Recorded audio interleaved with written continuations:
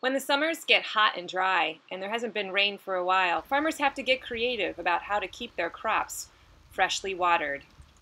It's especially important that these new seedlings get water, or we'll see significantly lower yields. One of the ways we irrigate our crops is with this machine called an irrigation reel. It's essentially a glorified giant sprinkler. First, our crew has to lay out pipe at the site of irrigation. Since these pipes are made from aluminum, they're not that heavy and they can easily be carried with the help of two people. The pipes fit together like a giant jigsaw puzzle, and they ultimately lead to the source of water, the well located between the two trees in the video. These pipes must be disassembled and reassembled every time we have a new section of the field to irrigate. We use couplings to connect each of the pipes together. They have to be greased with a special paste to keep the seal tight.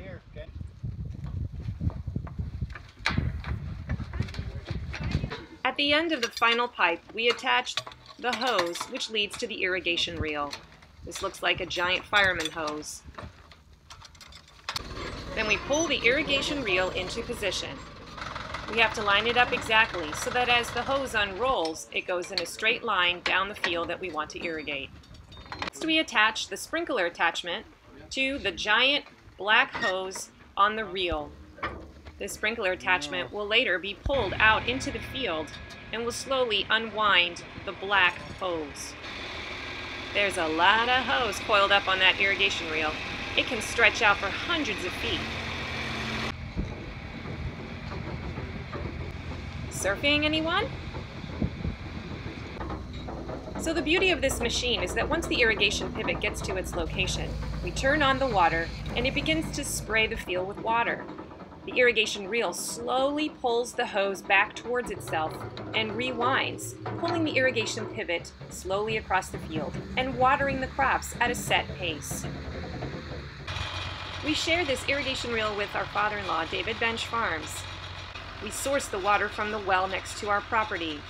It's got a strong, powerful engine that can move that water down the pipes quite a distance. Once the well's turned on, we turn on the motor of the irrigation reel. Let's see if the water rolls. Kurt makes a few adjustments, and sure enough, the irrigation pivot starts to spit water out into the field. And there you have it, folks, a giant farmer sprinkler. Now our precious corn can get the water it needs. To see more videos like this one, visit our YouTube page at Shared Legacy Farms.